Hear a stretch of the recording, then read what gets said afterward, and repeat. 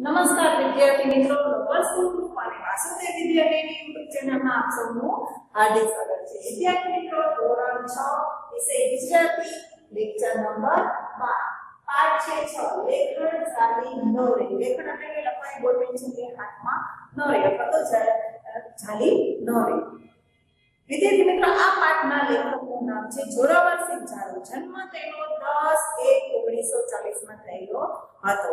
જોરાવરસિંહ લાલુબા જાદવ ધંધુકા તાલુકાના આકરુ ગામના વતની છે. હાલમાં તેઓ આકરુ ગામમાં રહે છે. લોક સાહિત્ય અને ક્ષેત્રે સંશોધન સંપાદનમાં એમને વિદ્યાર્થી કાળથી જ રસ થયેલો આ લેખકને લોક સાહિત્ય ક્ષેત્રે સંશોધન અને સંપાદન મતલબ કે નવું નવું શોધવું લોક સાહિત્યનું અને એ વિશે લખાણ લખવું એ જ્યારે વિદ્યાર્થી કાળમાં કે જ્યારે ભણતા હતા એવા સમયથી તેમને આ વિષય પર રસ હતો. એમણે અત્યાર સુધીમાં લોક સાહિત્યની વિવિધ કથાઓની અનેક પુરસ્કાર રૂપી પ્રકાશિત કરેલા છે. લોક સાહિત્યની વિવિધ કથાઓ છે એ અત્યાર સુધી એને ઘણી બધી લખેલી છે. જેમના નામ છે મરદ કસુંબલ ચડે. આપણા કસબીઓ. મરદાઈ માથા સાટે. લોકજીવનના મોતી. વગેરે એમના લોકકથાના લોકજીવન અને લોક સંસ્કૃતિને સ્પર્શતા વિવિધ પુસ્તકોના, વિવિધ વિષયના પુસ્તકો તમને લખેલા છે. આ જે પુસ્તકના નામ હું બોલી, એ પુસ્તક તે ઉપરાંત આ લેખકે ઘણી બધી લોક સાહિત્યના પુસ્તકો પણ લખેલા છે. વિદ્યાર્થી મિત્રો, આ પાઠની થોડી ઘણી માહિતી જે છે એ હું તમને કહી રહી છું. એ ભાલ પંથની આ લોકકથામાં કહર સંગે કરેલી દાંડાઈનો બદલો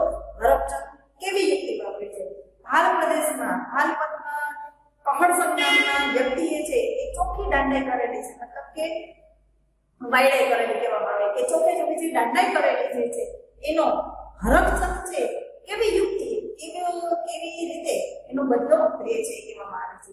તેનો ત્રદ્રશ્ય ચિતાર મળે છે. ત્રદ્રશ્ય મતલબ કે આ પાઠમાં એ આપણે જાણવા મળે છે. આ લોકકથામાં માનવ સ્વભાવની વિષયનો પરિચય મળે છે. માનવ સ્વભાવનો વિષય મતલબ કે માનવ મનુષ્યનો સ્વભાવ કેવો છે એ આપણે જાણવા મળે છે.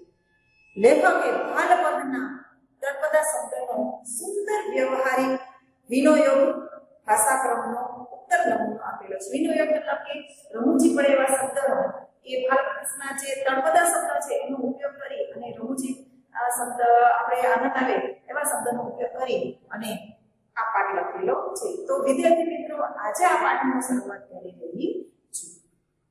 ગુજરાત અને સૌરાષ્ટ્રના સીમાડે અડીને હાલ અને કનક પંથકના પંથક પાઘડી પને બતાવેલો છે. હાલ અને કને નામનો જે પંથક કે નામની જે જગ્યા જે છે, કે જે અહીંયા પ્રદેશ જે છે, એ પાઘડી પને કે લાંબા પટે આ પ્રદેશ ફેલાયેલો જોવા મળે છે. કુદરતી અમે દ્રષ્ટિ ઓછી હોવાને કારણે એના માટે આદિકાળથી એક કહેવત, કહેવાત છે.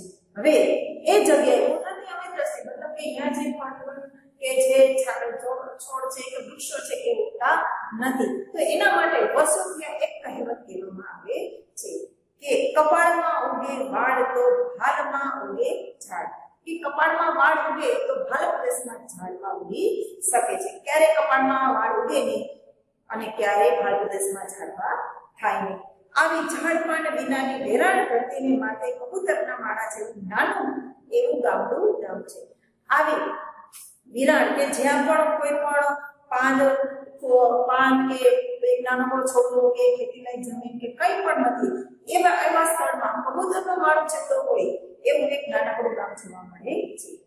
ગામમાં રાજકોટ, દરબાર કણવી ભરવાડ અને વસવાયા વરણના પાંચસો એક ખોરડા જોવા મળે છે. હવે આ જાતિના જે નામ બોલે એ બધાય મળીને ખાલી પાંચસો ખોડ્યા એ પાંચસો ઘર ત્યાં જોવા મળે છે. બે એક ખોરડા વાણિયા અને બ્રાહ્મણના છે. એવી જગ્યાએ વાણિયા અને બ્રાહ્મણ જાતિ જે છે, એના બે એક બે ખોડિયા મતલબ કે એક બે ઘર જોવા મળે છે. ઉનાળો ધરતી પરથી ઉજાડ ભરવા માટે છે. ચોમાસાના પગરણ માંડાય અને ભારે વરસાદ થતા વાજળીથી ગામડા ગામમાં બંધ થઈ જાય છે. હવે ઉનાળો જવાની તૈયારી છે. વરસાદની ઋતુ આવી રહી છે. એવા સમયમાં વાજળી કે વરસાદ જ્યારે એવા સમયે જે રસ્તો છે એ બંધ થઈ જાય છે.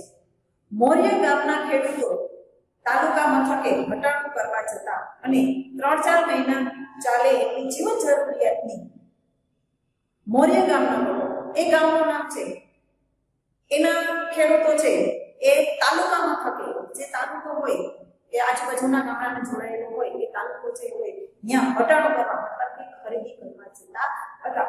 કે ત્રણ ચાર મહિના ચોમાસાના મહિના હોય એવા સમયમાં ઘટાડો કરવા ખરીદી કરવા માટે એ જતા હતા. એ કેવી વસ્તુ લેવા જતા? કે જીવન જરૂરિયાતની. ખોદા ખાધા ખોરાકીની કે રોજિંદી જે વસ્તુ જોતી હોય એની ખરીદી કરવા જતા હતા. ખેતીની અને ઘર વપરાશની સટરપટર ચીજો જણસોની ખરીદી કરી ઘરમાં સંગ્રહી રાખતા. એ સમયની વાત છે.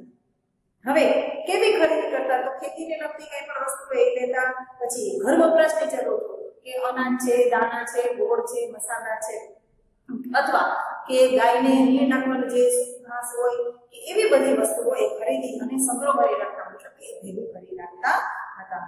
મહેનત મજૂરી કરીને પાંદડે થયેલા કહળ સંગ ગાડી જોડીને ધંધુકીય ઘટાડો કરવા ગયા છે. હવે મહેનત કરી, મહેનત મજૂરી કરી અને બે પાંદડે થયા મતલબ કે થોડા સુખી સંપન્ન થયા. એવો સમયે ગાડી લઈ અને કે એ હટાડો કરવા મતલબ કે ખરીદી કરવા જઈ રહ્યો છે. સુલેમાન ઘાટીની ઘાણીએથી બે ત્રણ ડબ્બા તલના તેલના. સુલેમાન ઘાટીની ઘાણી કે જે તેલ કાઢવા માટેની ઘાણી હોય તો જ્યાં એ મિલ હોય, એ જગ્યાએ જઈ અને તલના તેલના ડબ્બા લીધા. પછી મોદીની દુકાનેથી દેશી ગોળની ભેલું લીધી મોદીની દુકાન મતલબ કે કરિયાણાની દુકાને જે દેશી ગોળનું ભીલું કે આપણું ભીલા જેવું આવે, એ જામેલો જે ગોળ એને પીટી અને રાખવામાં આવે છે, તેને ભીલું કહેવામાં આવે છે. એ પણ ત્યાંથી એમને લીધું.